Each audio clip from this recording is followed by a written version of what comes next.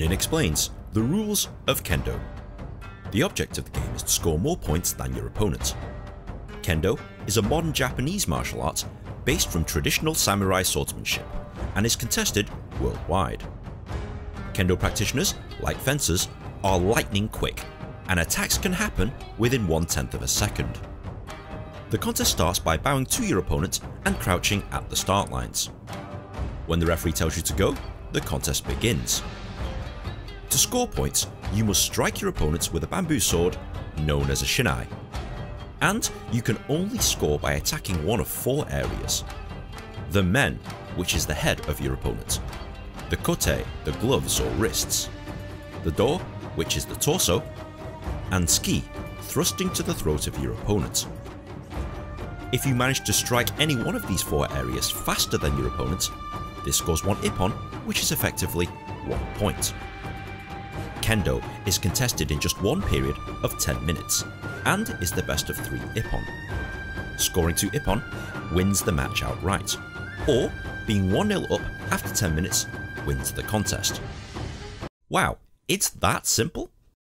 As you can probably tell, this is the part where it gets more complicated. For an Ippon to be scored, there are certain conditions that have to be met. This can be summarised in the phrase Ki Ken Tai, which means spirit, sword and body.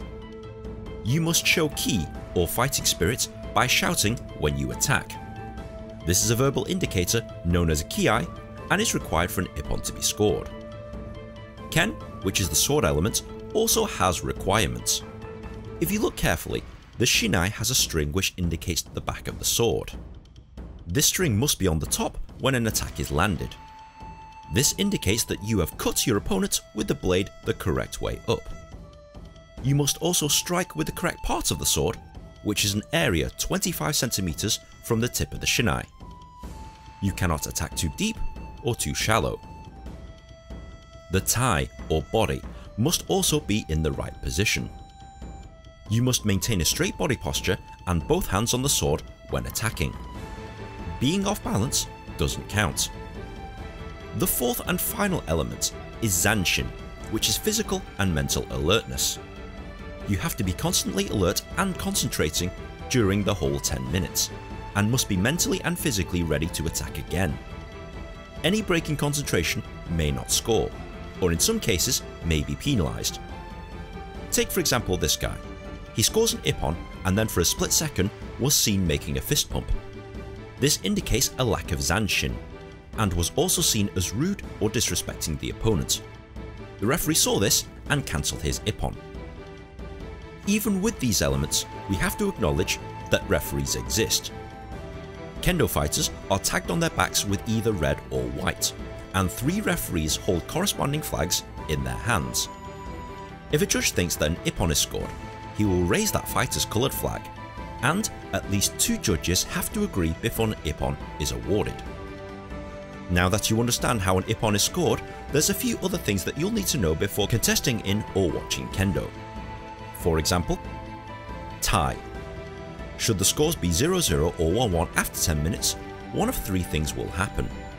In tournaments, the contest will carry on until an Ippon is scored. Whoever scores first wins. The contest could be declared as a draw or the three judges will decide who was the superior fighter and they will be declared the winner. Format Most contests are individual contests where one person fights against another person. This is usually fought in a tournament format, whereby the winner moves on to the next round and the loser is eliminated. The last person standing wins the tournament. If you found this video at all helpful, please be sure to like, share and subscribe. It takes me ages to make one of these things, and good karma is very much appreciated. Be sure to follow me on Twitter also and share this video on Reddit, but in the meantime, enjoy Kendo.